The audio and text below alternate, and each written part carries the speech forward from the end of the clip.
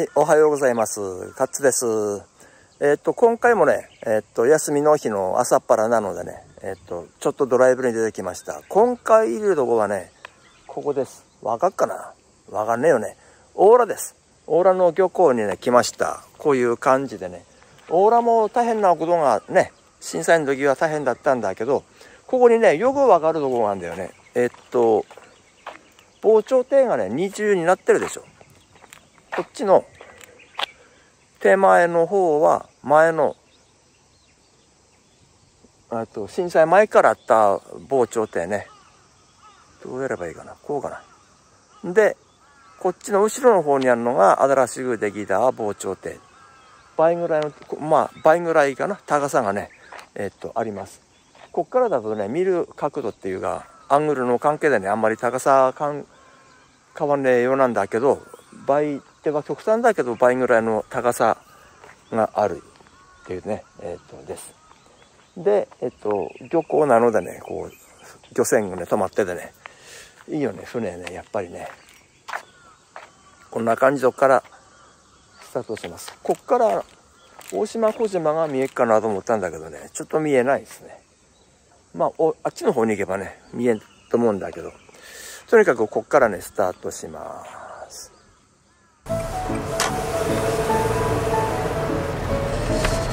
いうことで、えーと、オーラの漁港をねスタートしますね。右側に立ってるのがねあのもともとの防潮堤だったんだけどその後ろ側にね、えーと、新しい防潮堤ができて、えーと、やっぱり水門じゃなくてスロープでかわすっていうね、えー、防潮堤です。こっから上がっていくがね。入り口がねあのそのスロープがこう入り組んでてねここがねあのあっち行ったりこっち行ったりっていう感じの防潮堤のスロープでかわすっていうところに交差点があるというねここは定時路ね。で今回はどうすっかなと思ってね考えながら走ってたんだけどえっ、ー、と防潮堤あのマジに上がっていくところのね。え、っと一番近いところのスロープから出てきて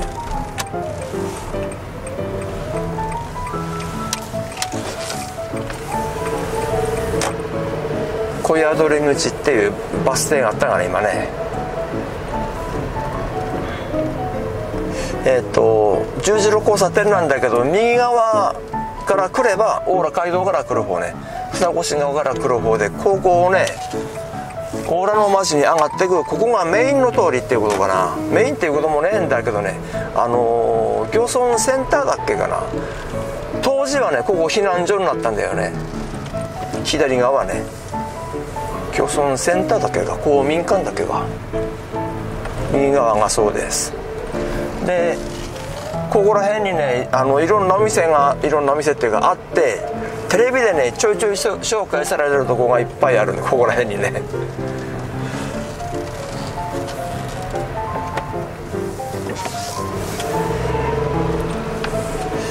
俺は狭くてねえっと車が来ればこう交換できねえんだよね。なかなかね待ってる待ってて通すっていう格好になるがね。でこう海側に降りてく道路がいっぱいあってねえっ、と家々にこう取り付け道路がついてるっていう格好の街並みだがね。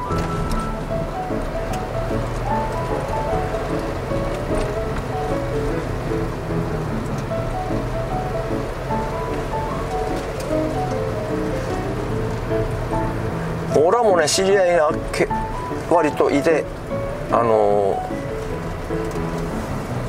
被災したりしてねえっと大変な目に遭ったっていう人たちがいっぱいいるんだけどね。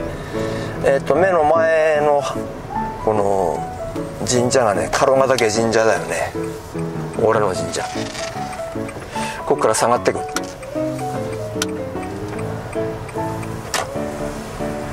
この軽ヶ岳神社もね結構歴史が古くてね紐解くとねすごいとこなんだっけ、まあ、詳しくはしゃべんねえけどね。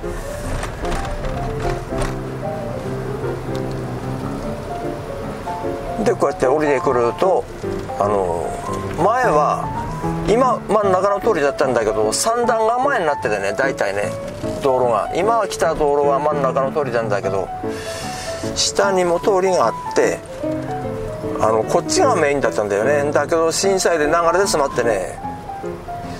店だのいろんなのがあったんだけど今はもうこの防潮堤の裾になってしまってね、えーと、通りも区画もこう一新されたっていうかそういう感じだがね。ここらにやったんだ漁協だのね。でえっ、ー、と一回りしてきたっていう。本当は外回り回ればいいんだけどね。外回り外周回っとね。あのちょっとねディープなので えと真ん中の通りをね今日は本から通ってみたんだけどえっ、ー、と海側はねもは非居住区なのでね道路から海側はね防潮堤の裾になってるからねここらもいい家だったんだけどね。えっ、ー、とさっきの十字のねここをまっすぐ行くと小宿りに行くんだけど小宿りに行ってみっか。ずっと前オーラ取った時はねあのー、小学校からね上がってった動画を撮ったことがあるんだよね。それ小学校から上がっていくとあここだね。トンチョのとこから。こっから上がっていくとね。左で左折で上がっていくと一番外側の外周に上がっていくんだよね。ここはオーラね。オーラの分断。123分断かな。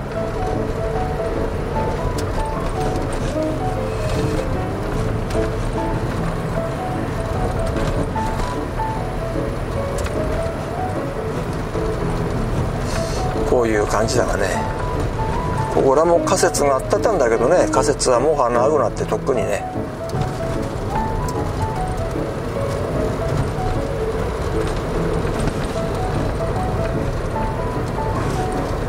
ここら左側インドバーね。インドバっつってあの葬儀室とこだがね。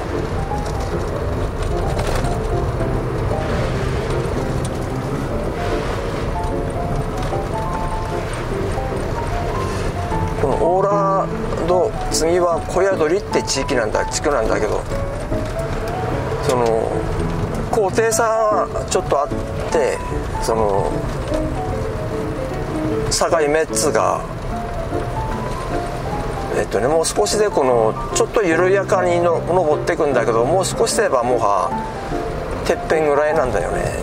でその津波がねギリギリこのここら辺で頂上なんだけどここで頂上なんだけどね小鳥から来た津波はギリギリここら辺まで来たのかなね。ここらまで来てギリギリ越えなかったっていうね。もし仮に越えてればもしねその3月の津波が満潮だったとすればおそらくオーラまで越えたんじゃねえかって言われてんだけどね。ここらに今左折のどこの道路があったでしょう。この上にねあの新しい家々ができてんだっけ？高台移転っていうとこがあってね。この間も親戚がここらにいてねあの流れだもんね。右側に家があったんだけどね。流れてしまったね。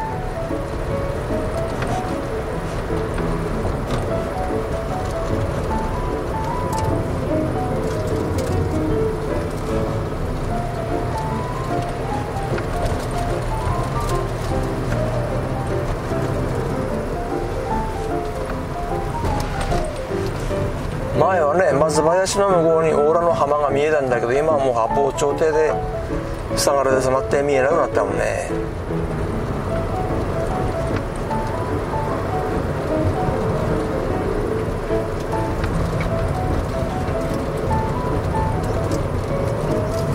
でどこまで行くかっつうとねこう道路をこう昔はここから右に入ったんだけどね浜に行かれなくなったわけ。スロープでかわすっていうねこっから浜に下がってっていう男子か。もろに太平洋ねザ太平洋っていう感じで水平線が見えてね。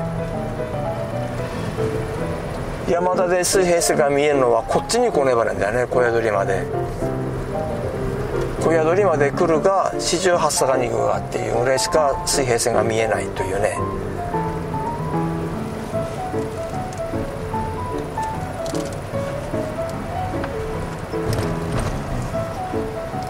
海近いねなんかね。意識してるわけではねえんだけどね。意識はしねえけど海が近いとおっかねえよねなんかね。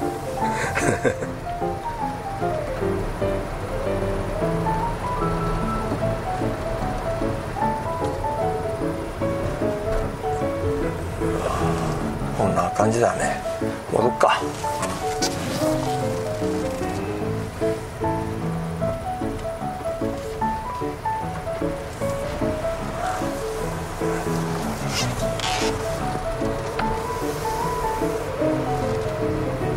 感じです。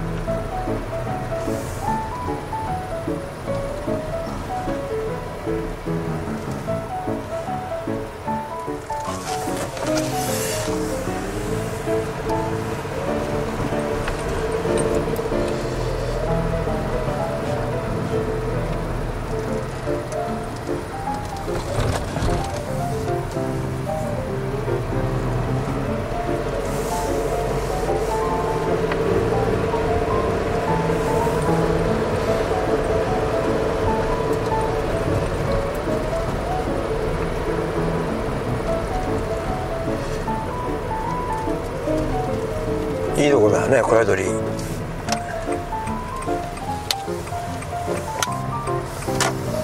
前ね震災前の景色忘れたな。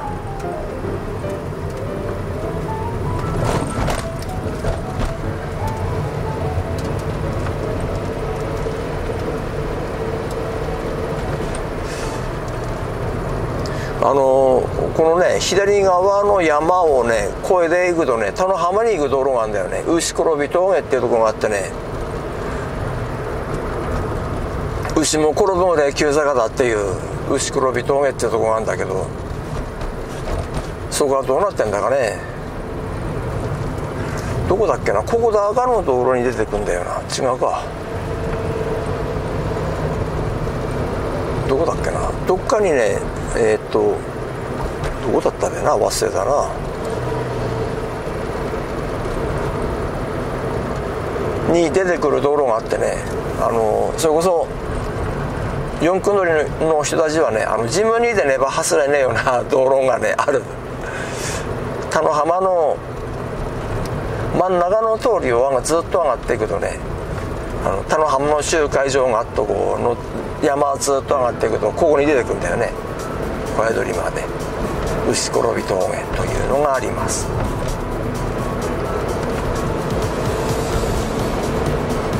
そういえばずっと前のこのドライブ動画を撮った時にその牛転び峠がなぜなってたのやっていうリクエストがあったったねそういえばね。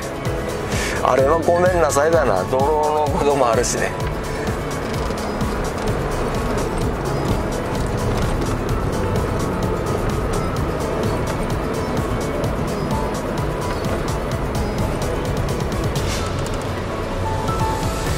そしてねさっきのインドバのとこねそっからねあのオーラをこうショートカットしてオーラ街道に抜ける道路もできたので帰りはそこを通っていくがここだ。こっからね山を突っ切ってねオーラ街道にズドンと抜ける道路がある。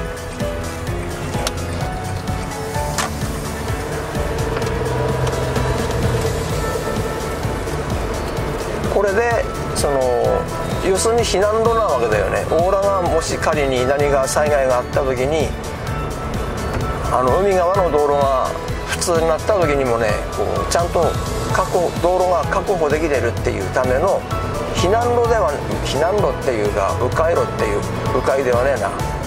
そういうね、えっと、道路ができたんだよね。災害道路って言ったかな。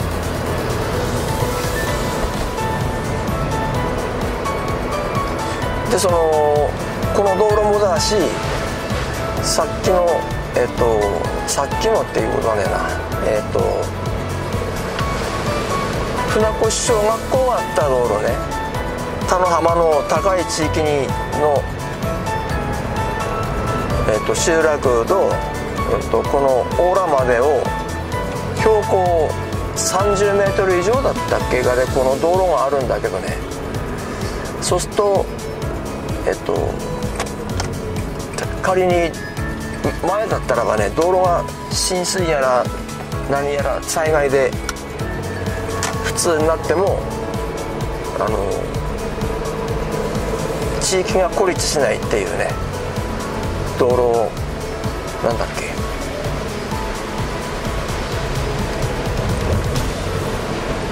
昔はね海沿いを走ってたっけね津波でも起きたりすれば大しけたりするとね普通になるっていうか到来なかったんだけどね。今はもう大丈夫。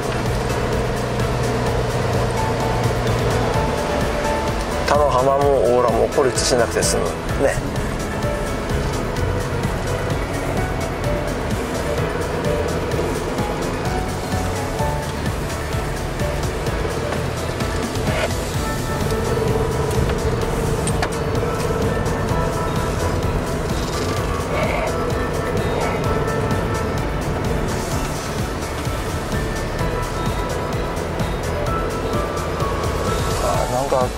くなってきたね。天気良くなってきたな。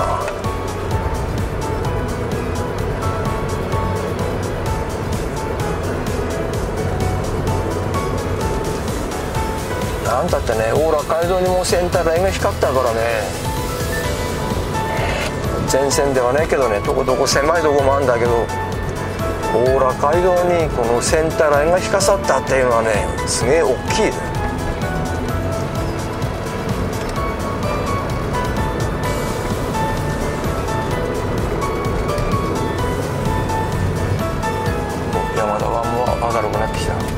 大浦川に来ればねこの大島小島の並びが反対になんだよね裏側3からね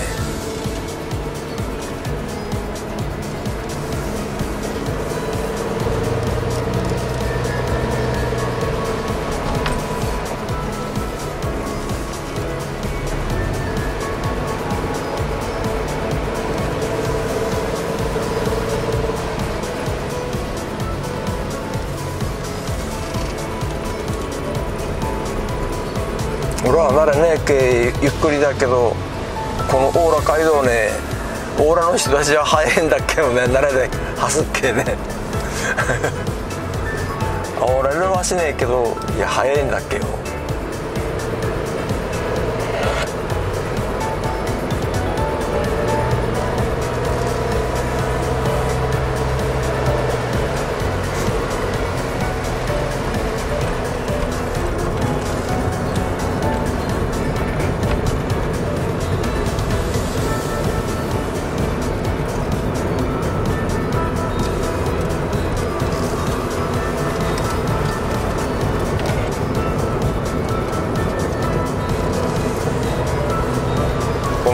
ダウンの高低差がね動画ではなかなか伝わんねえんだよね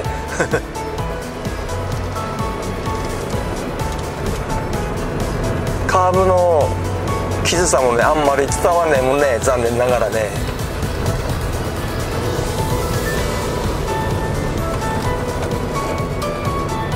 ここまで来れば裏の浜と。そろそろ間はねサグラを撮ってる船越家族旅行村のあのサグラの山に行くんだけどね。今回はねこの辺までだね。今回はねえっ、とオーラを撮ってみたっていう動画でした。今回はこの辺までにします。じゃあねまたね